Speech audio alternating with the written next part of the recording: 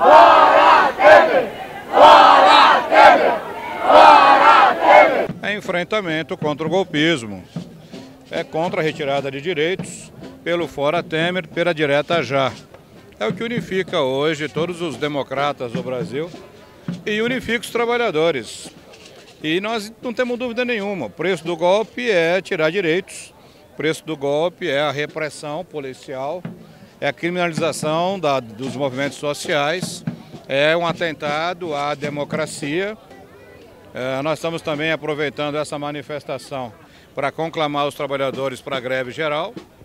Vamos fazer uma esquenta no dia 22, que é extremamente importante. E a greve geral significa uma unidade da classe para defender questões que não estão no dia a dia da convenção coletiva de cada categoria, como é as, as férias, 13 terceiro salário, a questão da aposentadoria. É por isso que a gente unifica a luta na proposta do enfrentamento que significa a greve geral.